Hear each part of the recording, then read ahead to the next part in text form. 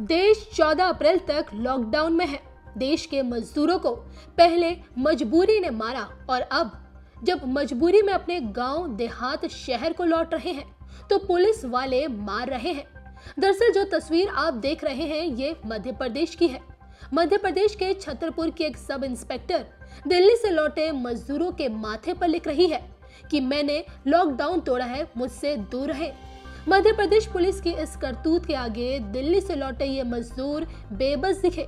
करें तो करें क्या? जाएँ तो जाएँ कहा? बस सिर पर चुपचाप लिखवा लिया।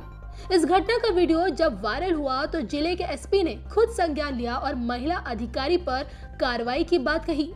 कल रात में कुछ मजदूर जो है उत्तर प्रदेश साइड से आए थे। उनका मेडिकल एग्जामिनेशन के दौरान में ये जो घटना हुई है, ये स्केच पेन से लिखने वाली उसी समय की है। इस संबंध में सभी कर्मचारियों को बताया जा चुका है, सभी अधिकारियों को बताया गया है। सिर्फ़ विधि अनुसार कार्रवाई करेंगे। और ये जो स्केच पेन से लिखने वाला है, वो किसी भी प्रकार से जो है, वो स्वीकार करने योग्य नहीं है। और इस मामले में जो है, नियमानुसार कार्रवाई की जा रही है।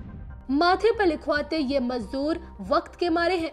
पहले तो लॉकडाउन की वजह से काम छूटा, तनख्वाह नहीं मिली जैसे तैसे घर पहुँचे तो पुलिस का ऐसा रवैया। अपमान का घूंट पीने को मजबूर ये मजदूर। बस अब कैसे भी अपने घर वालों के साथ ये मुश्किल वक्त काटना चाहते हैं।